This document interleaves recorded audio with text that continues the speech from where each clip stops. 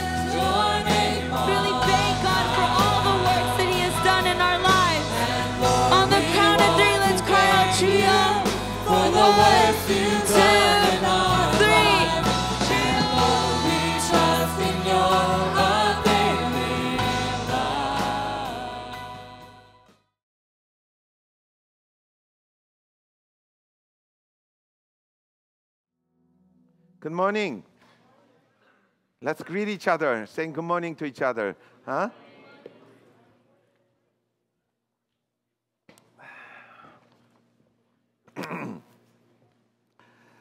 um, I'm going to start a, a new series about uh, Christian life. Uh, we finished the Holy Spirit last week, and and I'm gonna uh, start uh, start about discipleship. Um, I've been reading Dallas Willard's book uh, for several months now, and I think uh, I think I got it uh, at least uh, uh, what kind of points that he wanted to make throughout his lives. So I want to try to mimic uh, whatever he was teaching. Um, by the way, yesterday I really enjoyed it. Um, you know, our Christmas performance is, is good, but um, you know, yesterday's uh, AU and the young adults and and the high school and college uh, group was really good. Did, didn't you guys enjoy it? Yeah, I mean, I, I enjoyed it immensely. I, I, I just my uh, my excitement couldn't couldn't settle down until until about midnight. Um, anyways, I heard that uh, you know after um, after they finished it, um, they they had to clean the church. Um, I mean, it was one big mess, as you can imagine. But they cleaned the church, and also they had to uh, uh, disassemble all the, I guess, all the what do you call that? Uh, the pa- pa- uh, huh? the the boxes, yeah, the wooden stuff and and para- paraphernalia. Uh, anyways, uh, they had to they had to disassemble and and they they start destroying it because it, it might take too too too much time. Anyways, I put it in the garbage here, over there, over there, um, and then they went home. But I heard this morning that they didn't go home. They went to uh, Boba. Did you guys go Boba? huh? Young is good. I say, oh my goodness. I was just tired watching them, but uh, I really enjoyed. Um, however, um, you know, after the after the concert, um, there was this uh, this lady who came to me and and and told me something that that kind of uh, relates to uh, my thought about Christianity. So I want to share it with you. Um, the lady was about about middle age and and she came to me and, and she, uh, she told me, uh, Pastor Shin, um, how can I bring my child uh, to, to this? Meaning that this kind of excitement and this kind of uh, you know, worship and service. I guess she felt the energy and, and the spiritual, you know, um, that um, fervor uh, that young people had. And, and I asked her, uh, and, and she said, well, you know, my child um, doesn't do anything. Uh, it's about college and, you know, um, just about to flunk out the college and, and don't work and just don't passion, don't, don't have any goals. And I just wish my child can be one of them. Um, and she started crying. Uh, you know, that anguish crying. Um, a couple of weeks ago, uh, in fact, two children came to me um, uh, with, uh, with, a, with an anguish. Uh, they were brought by uh, their parents, and, and um, you know, they, uh, they were telling me, um, I don't want to go home. I don't want to.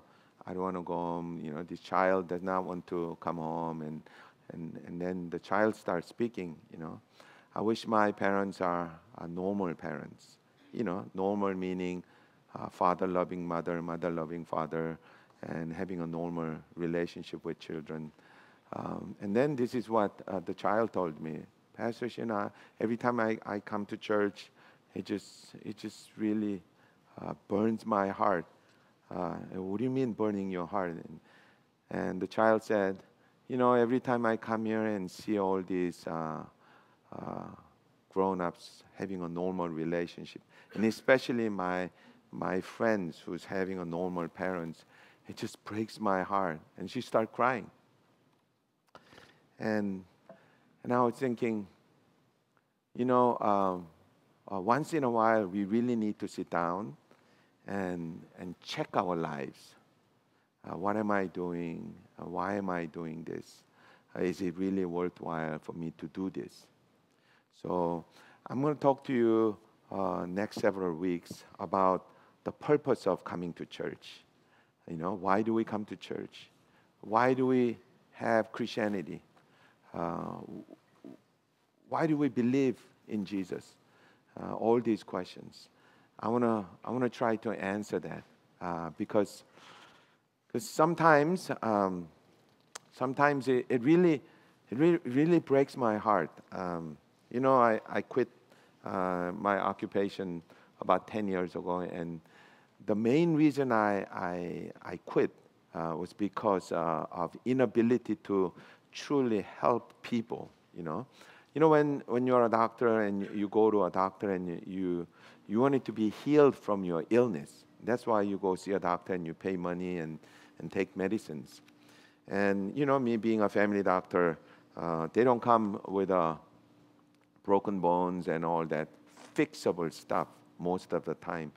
Uh, many a times, you know, in fact, about more than 80% of time, they come to me with, with unfixable stuff uh, that, that pains in the, in the life. And, and for about 20 years, I've been, you know, trying to help them, but I, I, I was feeling that, that this is not doing, you know, this is not, this is not really truly helping people. So I, I thought that if I become a pastor and, and fix the mind of people, you know, teach them about the, the heart of the Christianity, uh, I thought people might change.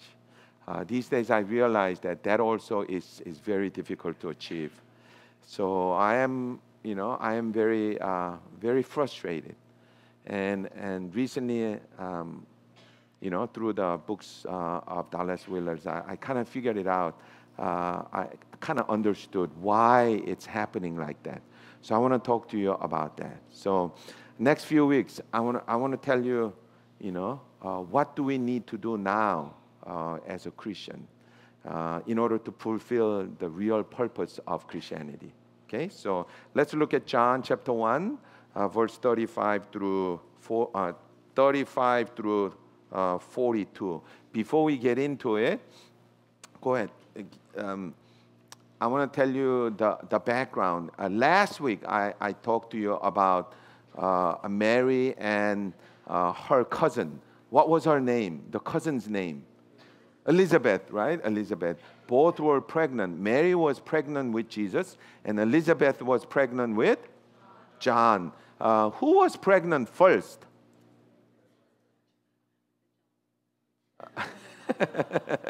who was pregnant, Mary or Elizabeth? Elizabeth was pregnant first, maybe about three to four months ahead of Mary. So they were, you know, they were pregnant and then they met each other. And, and, and as, the, as the child and the mother was in the presence of the Christ, you know, uh, the child instinctively, I guess, uh, uh, perceived that he's in the presence of God, and he, you know, he was filled with the, with the Holy Spirit. And eventually, that kind of overflowed into the mother, Elizabeth. So she was, uh, you know, filled with the Holy Spirit. And eventually, you know, they, they recognized that, wow, Mary, you are pregnant with somebody who is really mighty and great, right? And, and the story goes, you know, they, they had their children, and about 30 years had passed. Little more than 30 years has passed. So, so now both of them had, had children.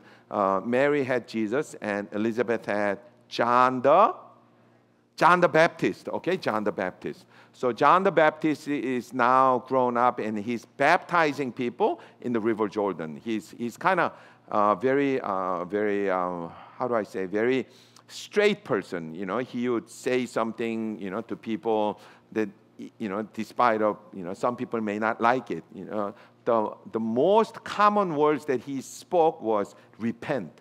You know, lots of times that does not bring a good favor uh, from people. But anyways, he, you know, he just straight out saying repent. And also when he sees injustice, he just speak it out, you know. So he, he's kind of, uh, he's kind of strange, but very, um, very a strong person. Uh, by then, uh, he also had couple disciples of his own. So when you know he was baptizing, his disciples were, I guess, uh, bringing people in, and, and somehow, somehow, uh, he collected few disciples. So at the scene we are about to read is that John the Baptist had already seen Jesus maybe a few days ago, and then uh, he talked about evidently talked about Jesus to his disciples. So they were kind of curious because, uh, you know, my master is talking about another master, you know, so they were kind of curious. And a few days later, Jesus shows up.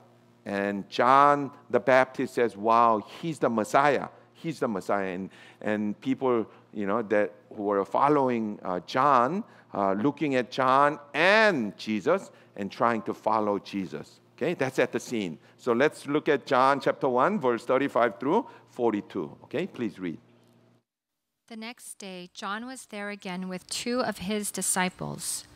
When he saw Jesus passing by, he said, Look, the Lamb of God.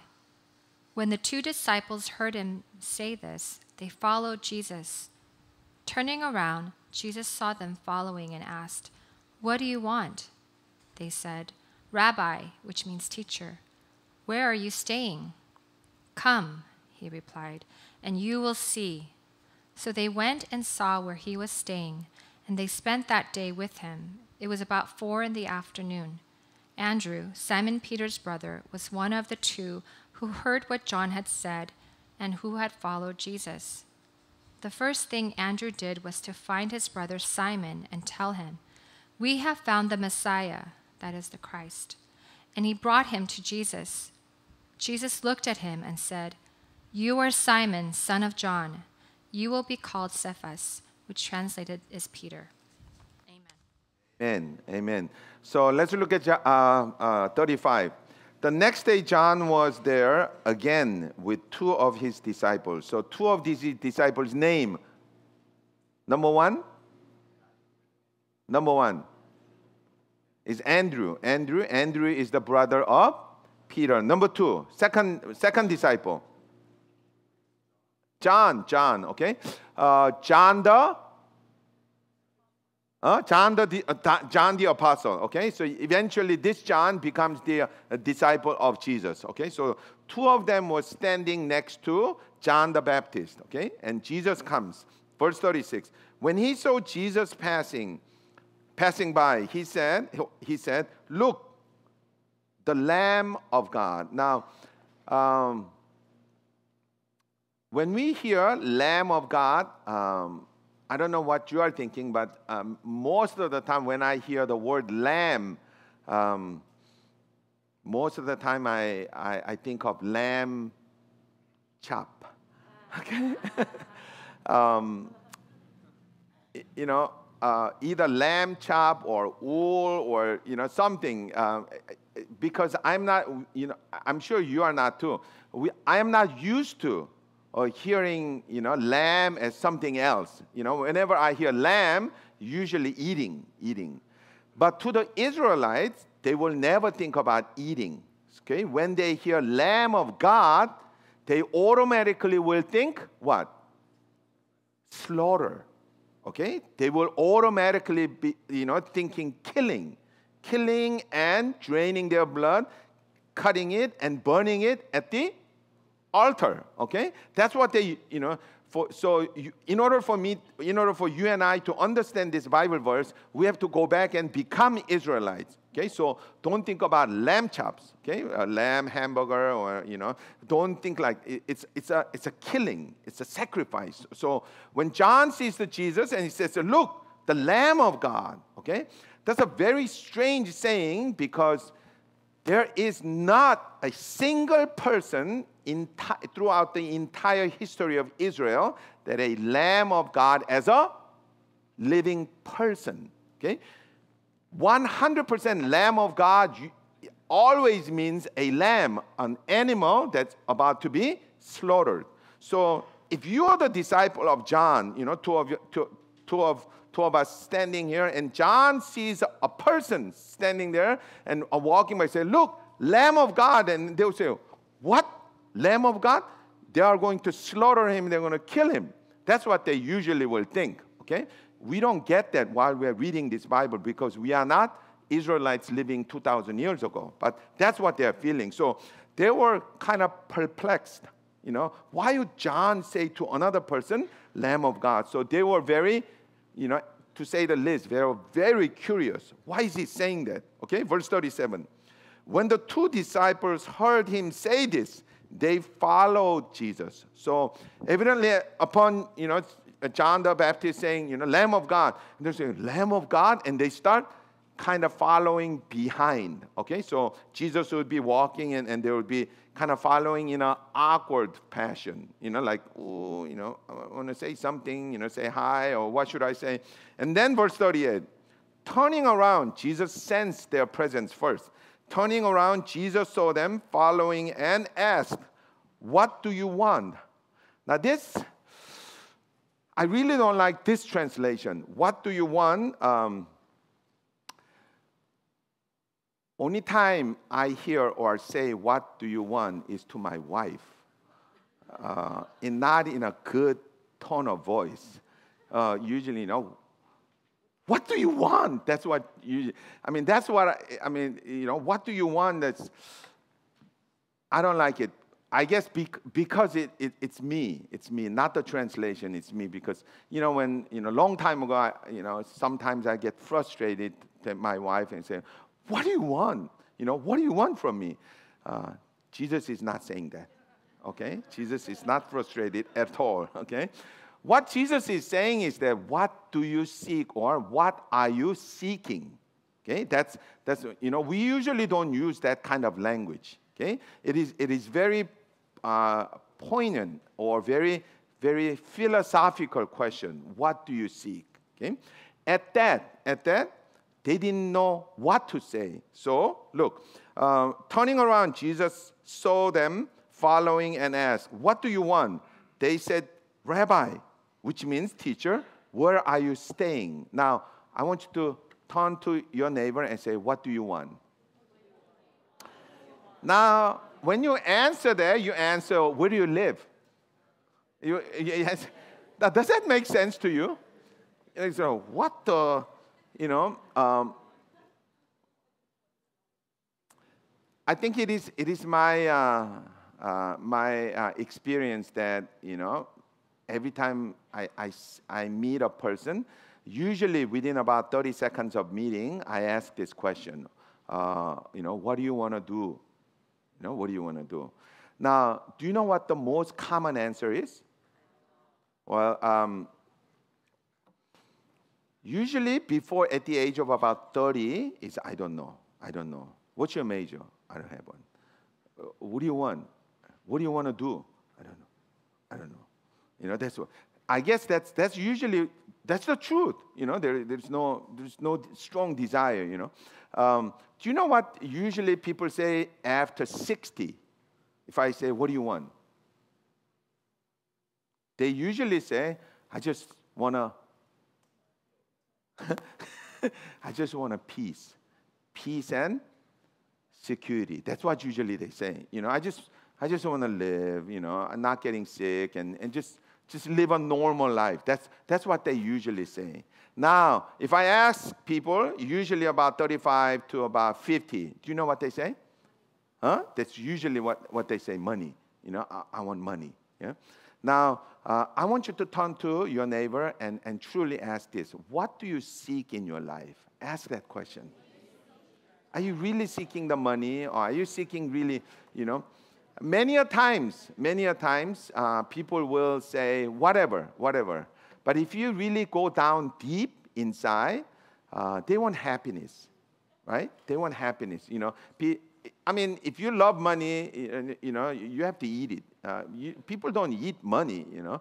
People get money because they think the money will bring the happiness or whatever the power or whatever. You know, they think they it, it will bring it will bring happiness. Now, I, I want to ask you this: What is happiness? What is happiness? What is the bottom of the happiness? I, I think this is what, what people usually mean. I want to be recognized by other people as a human, as a person. I want to be recognized or I want to be respected by other people. If I am respected from other people, I'd be secure. Now, more than other people, if I can be recognized by myself, you know, myself that I, I have done okay. I have done fairly well in my life. I think that's what they mean by happiness. Okay? That's what they usually say. But they didn't know what to say. They just say, Where do you live? Basically. That's what they say. Okay? Now, the answer from Jesus is even uh, more uh, difficult to understand. Verse 39 Come, he replied, and you will see. So they went and saw where he was staying, and they spent that day with him. It was about four in the afternoon. Now, this is very strange, sen- you know, very strange sentence. So Jesus, Jesus, you know, asked them, "What do you want? What do you seek in your life?" I don't know. Where do you live? And then the answer is, "Come and come and see." That's the answer. Now, uh, this is what this is what I find about Jesus. You know, when Jesus, when people ask Jesus a question, okay, Jesus will rarely ever answer to that question. Okay, Jesus will always answer to the person. But when a person asks Jesus a question, Jesus will answer to the reason for that question. Does that make sense? Okay? See, when people ask some question, they always have this motive. You know, the reason why I want to know this. They have this motive. So they ask a question. Jesus will never answer that question, but Jesus will answer to that motive. Okay? So basically, basically, we need to understand what were they asking? What were they asking? In order to in order to understand what they were asking, we need to know what they were or who they were. Okay, so let's, let's look at John, John the disciple, okay? Not the John the Baptist, John the disciple. Now, uh, John the disciple is um, rich or poor? He's rich, rich. You know, uh, you know his family owns bunch of um, bunch of boats. Okay, uh, these days, you know, we are not interested in boats. Um, so let's say we uh, bunch of bunch of real estates. How about that? Huh? Bunch of bunch of shopping mall. Ah, shopping mall, okay? So what he does, what the family does is that they, he rents out the real estate and, and collect the money, okay? So he's, he's rich. So his parents are rich. So have you ever known children of rich family? They usually go two directions. One direction is they become very, very spoiled. You know, they get into drugs and they drive fancy cars and, you know, they spend their parents' money, you know. The other one, the other one, uh, it is not common, but the other one, nevertheless, is also not uncommon, is that they start thinking about the life. You know, what am I going to look at? You know, what am I seeking in this life? Because because they are not lacking anything. You know, what am I? You know, what do I want? What do I? I think that was John. Okay, so he left home. He left home and and tried to learn something about his life and ended up following this John, John the Baptist. I don't know. I don't know exactly why John the disciple is following John the Baptist because John the Baptist was not really, um, how do I say, very, um, very attractive to follow because number one, he doesn't got no money. Uh, uh, he's not really educated. He wears this funky robe uh, made of camel's uh, hair. I guess, uh, I guess in these days it's a cashmere. Uh, but it's not an expensive cashmere. And then he's got this leather belt, and he eats the he eats the locust. Would you follow a man eating locust?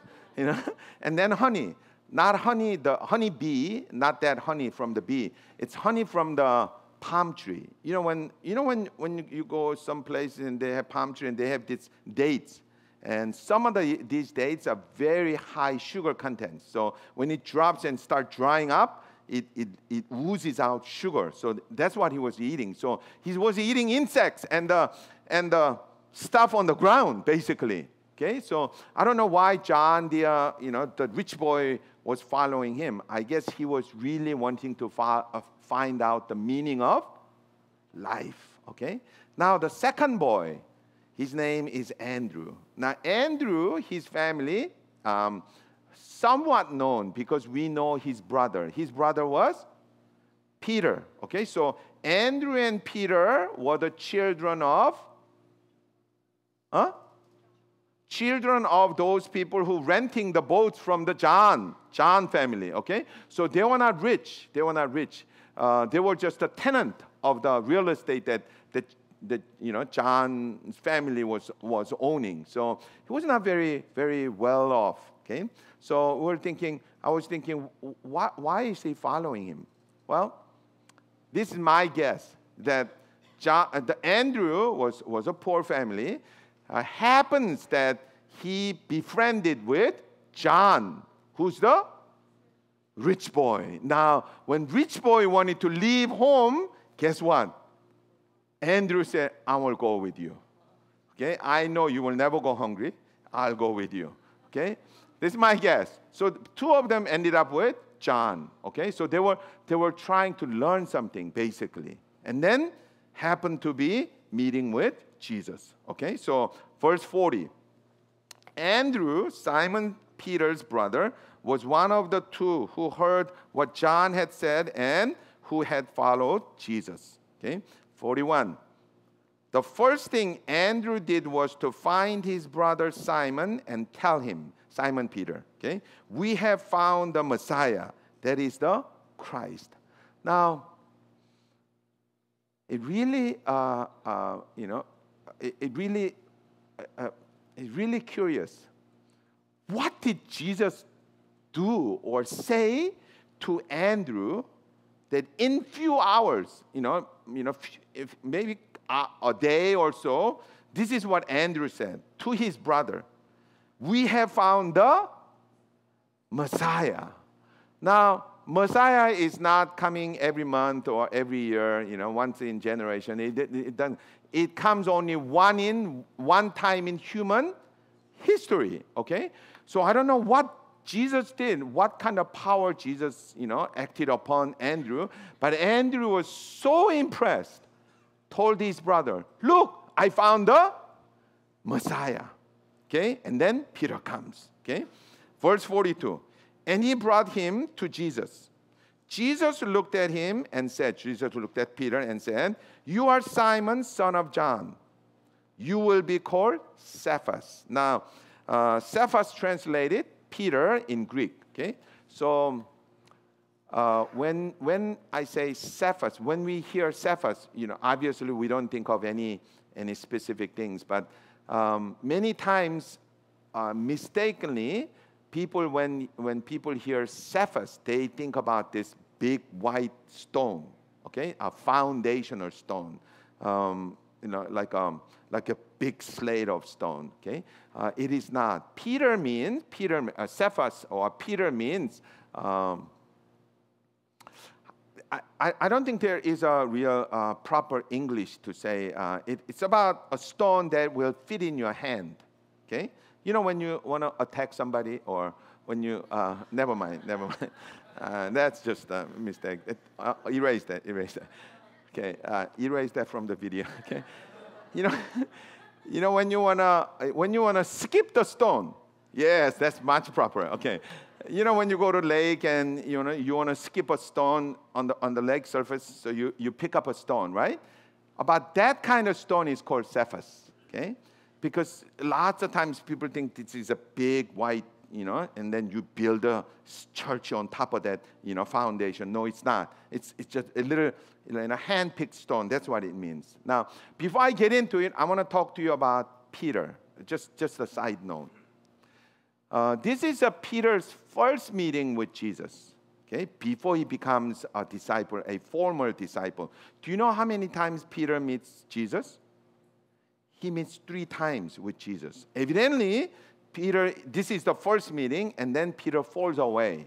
Okay, falls away. And then sometime later, uh, Jesus seeks out Peter, and one more time he comes to him and says, Oh, I will follow you. Okay, and then sometime later, he kind of went home, back to fishing. Okay, third time, while he was fishing, Jesus comes by and says, I want to get into the boat. So Peter knew him. You know, he already met him twice.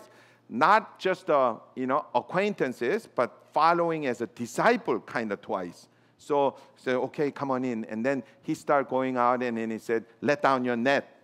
And then he and then he grabs this this humongous amount of fish. And then Peter says this famous, you know, famous saying, "Depart from me, for I am a sinner." And then Jesus said, Follow me. And from then on, Peter really becomes the official uh, disciple of Jesus. This is just the first meeting. I'm thinking, what if Peter never followed Andrew's advice? Peter probably would never known Jesus. And Peter would have died as just a, a fisherman from a Sea of Galilee 2,000 years ago. Just nobody, you know, just nobody. But somehow, somehow Peter followed Jesus. Follow Jesus. Turn to each other and say, lucky for you. Mm. Somehow you and I were chosen. You and I were chosen. You know, I went to Tres Dias in 1990 in September, about this time. And somehow, somehow during the program, something changed in my heart. And I decided to follow Jesus from then on. That was the life changing experience. Okay? Um, and then Peter, you know, we all know Peter becomes his disciple. And now, 2,000 years later, we all know about Peter. But now, let's talk about Andrew and John. So, I want to know what were they seeking?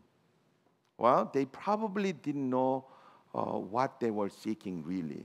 However, they were trying to do something with their lives. And now I want to ask all of us, what do you want in your life? Okay, turn to each other and ask this question really seriously. What do you want with your life? What do you want? What do you want? I'm not, I'm not really uh, uh, going to judge what you want, really, okay? Um, I'm going to talk to you about why church have failed, okay? Um,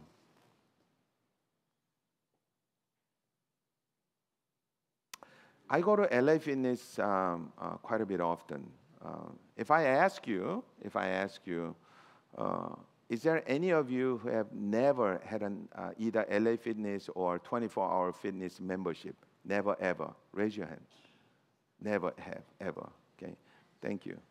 Not very often. You know, you don't see. Um, you know, most of the time, um, you know, once in you know, a person's life, people will get membership to uh, a fitness club.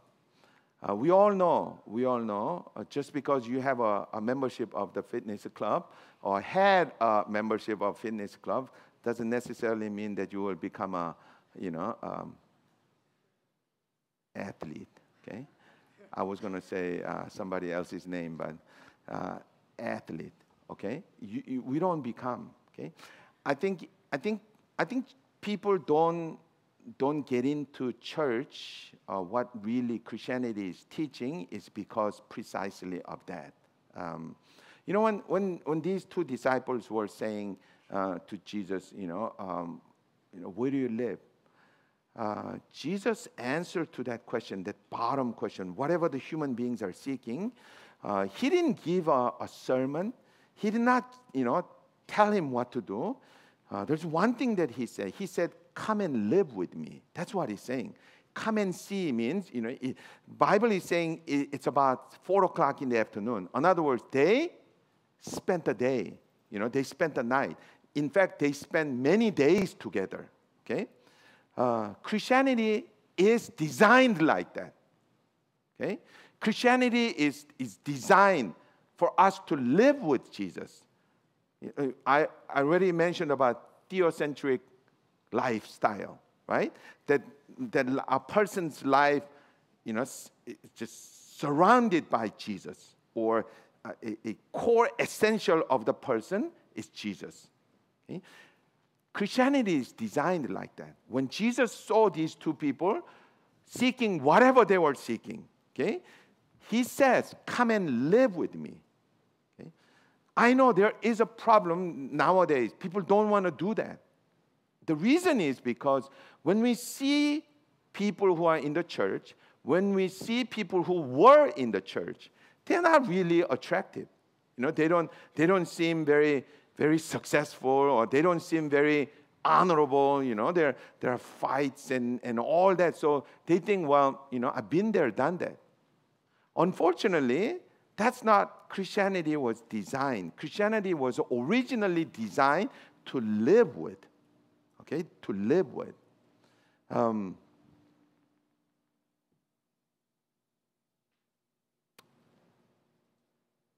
people come to LA Fitness um, with many different reasons, but I, I'm always amazed that many, you know, more than 80% of the ladies who come to LA Fitness, they wear, um, what's this, this, this thing? a legging, legging. Uh, it always um, um, um, um, makes me laugh. Why would you want to wear a legging to LA Fitness? On top of that, uh, almost 100% time, those people who wear leggings, they put perfume. Now just, okay. And then they have this white, um, what do you call it? headphone, headphone. And then they sit on this machine looking at the. I, I, guess they are doing the uh, mental exercise. I don't know what they are doing, you know. Um, we laugh, um, you know. I mean, I know they will never, you know, um, but many times people coming to church do exactly like that. Church is not, or Christianity is not designed to be like that. It's like living, living. Have you seen kids uh, performing yesterday? Now, Christianity is supposed to be like that. practicing, you know, every night. I mean, I don't know how much air, uh, air conditioner bill will be this month. Imagine at 70 degrees, I mean, they were sweating at 70. But with that passion and, and the performing, and, and Christianity was supposed to be like that. You know, but people don't do that. They don't do that. They just come once a week. You know, it's just, I guess, uh, hearing this sermon or you know meeting people, it's not going to do any good. Not at all, really, seriously. You know, Jesus saying, "Come and live with me. Come and live with me." And that's what I want to. I want to. I want to invite all of us really, because because I know many times we haven't seen that, but I have lived it. I mean, you know, in 1990, somehow at Tres Dias, my heart changed. So I moved from Dallas to LA, and I lived that life. I always thought, you know, being a doctor was my secondary job. That's my, that's my um, what do you call um, second job. My first job was really worshiping God and following God. And you might say, Pastor Shin, I have to live. I'm not saying, I'm not saying, you know, slow down on anything else. Okay? I, I, I really think it is a mistake to, under, to, to say that you give everything to Jesus. I disagree with that. Okay? You give Jesus the center. Okay? And then you also live. Okay? I want you to work. You know, work. Many times people think committing to Jesus meaning stopping to work. It's not. It's not. You know, I want to. Pe- I want people to work. I, I think Jesus wants to, you know, work, wants us to work too. But in order for us to really work effectively, we need to do two things. Number one, we have to have this passion, passionate work. You know, work really hard. We all know that. And then second thing is we also need some kind of knowledge how to work, how to do things. You know, many times people will have one thing. You know, some people work like a dog. I mean, you know, but they are never successful. They're never, you know, good at it. Or some people just just have all that head knowledge, but they don't do anything. But imagine a person who really work hard and tr- truly have wisdom to work at it. And then they, they are the one who's really successful. And there is an example in the Bible who really done that. Do you know who that is? His name is Solomon. You know, when Solomon became a king, he, he prays to God. He prays by giving 1,000 sacrifices. Can you imagine giving 1,000 sacrifices? That's, that's a cow sacrifice, you know, kill the cow and drain the cow and cut the cow and burn the cow. How long would it take? Probably 10 hours to do that. He gives that 1,000 sacrifices. Now imagine 1,000 early morning prayers. Do you know how long would it take? It will take three years. Okay, I'm not going to do that. Don't worry. Okay, but after thousand sacrifices, now that's called passion. Okay, that's called passion. God asks him, Solomon, now you give me thousand sacrifices. I'm ready to answer your prayer. Tell me anything you want. At that, Solomon says, I am but a little child. Can you give me wisdom? And this is the answer from God. God says in Second Kings, He says, You ask me nothing, you know, nothing like like like uh, you know, the success, the power, the money and treasure, but you sought wisdom. So I'm going to give you wisdom, and then on top of it, I will give you everything else. Now that's the secret of life. See, for you and I to really live well in this life, okay, we need to know how to do it and have that energy and passion in our lives. Okay? So be it whether you are a business person, whether you're a father, you're a mother, you are a lover, you're a brother, you're sisters, or whoever you are. Okay? Imagine, imagine you and I really live with Jesus and learn how to do it and learn how to have this passion and live like what these young people were performing yesterday. Okay, work like that. Okay, and then on top of it, we love and worship God truly from the bottom of our hearts. Now that is called successful life. Okay, we don't do that. People don't do that. I don't know why people don't do that. I guess because they think or they see these people who's not doing that. Okay, wearing legging to LA Fitness. Okay? Wearing, I mean, I don't know why they're wearing headphones on the LA Fitness. There ain't nothing to listen. I guess maybe that's why they're wearing headphones. But, you know, people using it in a wrong way, wrong way. And, and I, I, see, I see people coming to LA Fitness year after year after year. But they don't become really nice uh, how do I say? How do you say it? Buff, fit, fit body. Okay, they're, they're the same. They're the same. I've seen them. I, you know exactly what I'm talking about. You know, they, they come to LA Fitness like three, four times a day, but they look same. You know why? Because they don't exercise. They walk around. I don't, I don't know why. But you know, you know there are people, however, if you go to 24 hour or LA Fitness, there are people who have really nice body. I mean, I'm a man, but I, you know, some of those guys, what the? I mean, I truly want to touch it. You know, I want to. Go, Can I touch you? I mean, there are people like that. I mean, their arms were like Oh my goodness. In order to do that, number one, there are not many of them like that. There may be one or two.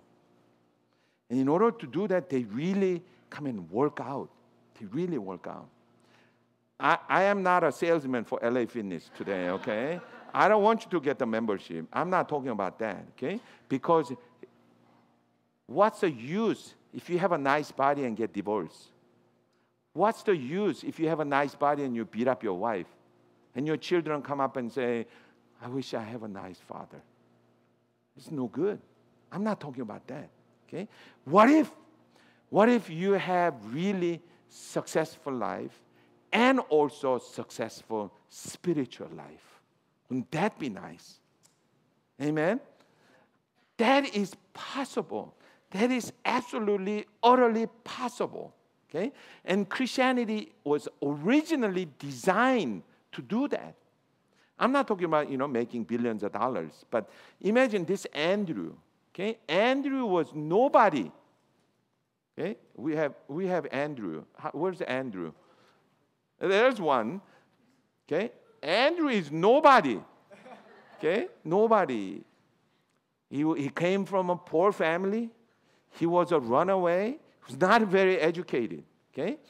But he happened to find Jesus. I'm not talking about him. I'm talking about this Andrew. And you know what Jesus says to Andrew, "Come and live with me."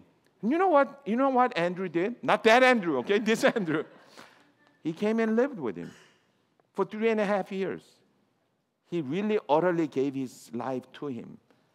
And you might say, what did Andrew do? Well, this is 2,000 years later. You know, we still study Andrew. We still call him disciple of Jesus. Never mind that. And look at the uh, Revelations, when we go to heaven, there's 12 seats for elders. Guess what? One of them was reserved for Andrew, not Andrew Ho. whoever, I don't know what the last name of it, Andrew is, is that seed. Now, what do you call that? I call that a success. Amen. How about John? John came from a rich family. You know, rich family. How many rich families' children do you respect? How many rich families' children would end up in the 12, one of the 12 seats of elders in heaven. All that is because they really lived with Jesus. Amen? Lived with. What does Christianity teach? Christianity teach not only once you believe in Jesus, we will all end up in he- heaven, but also Christianity will teach you how to live with passion. Okay? Practice like that. Sing like that. You know, I mean, they were really doing good. One day, I, I really was impressed. I mean, you know, for a short, brief moment, they lived what passion is all about. Amen? And then I saw some of them move. Whatever the move they were doing it.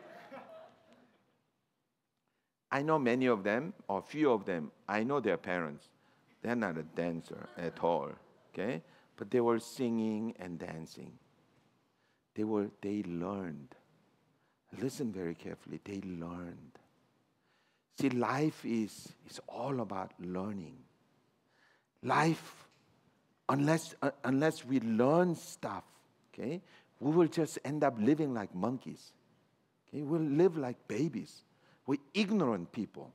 But if we learn the new things, learn the new wisdom, and then we live according to that knowledge. And then you and I will become, you and I will become a successful people. Amen? Live like that. Live like that. How do we do that? By really, truly living with Jesus Christ. Truly live with Jesus Christ. And work very hard with a new wisdom every single day. And then I really think it is possible that all of us can have a life that is truly worthwhile living. Amen? So turn to each other and ask this question What do you really seek in your life?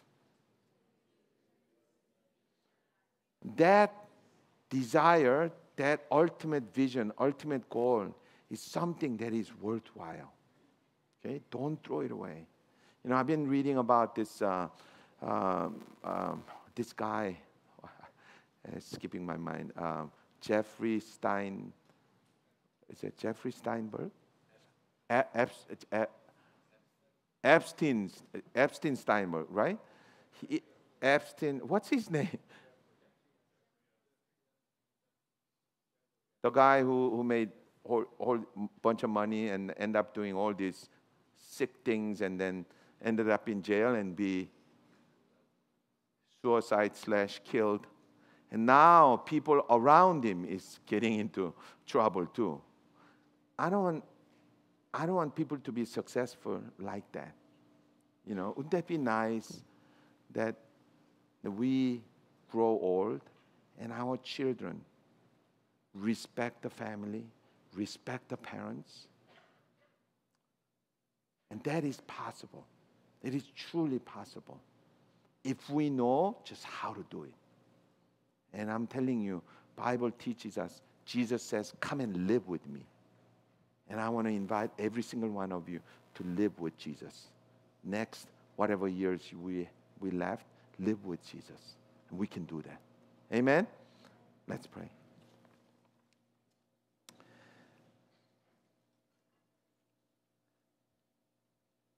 Lord, thank you so much for, for bringing all of us to your, to your house. There are many questions in our minds.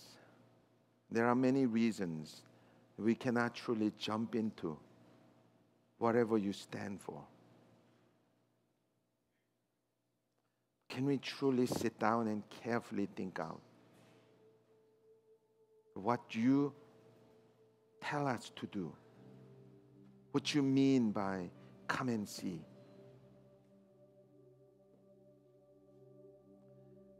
Are we are we just going to live a, a normal, secure life? Normal American life? Or normal, broken American life? And be satisfied with it?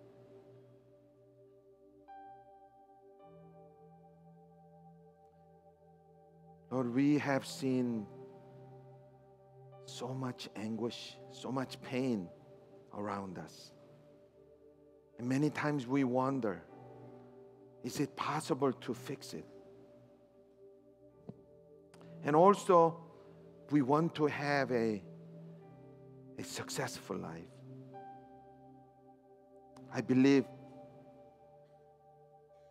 our God, you wishes us also same thing that all of us will live a life that is truly worthwhile centered around our Lord Jesus living passionately hard at work and truly have the wisdom to live all that centered around you as our master. And I do believe it is possible. And would you please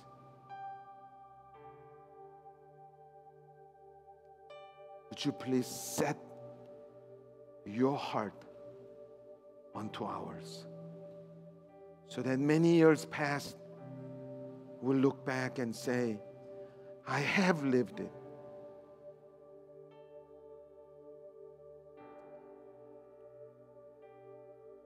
And I want to ask you to truly open the doors and ways for us to live with you. Thank you so much for your invitation. Lord, we are about to give you our offering. May it given unto you. And use it wherever your kingdom is present or your kingdom is being established. Lord, I ask you to bless every single person in this room that we will live abundantly. And most of all, centered around you. Thank you so much, Lord. Pray all this in the name of Jesus. Amen.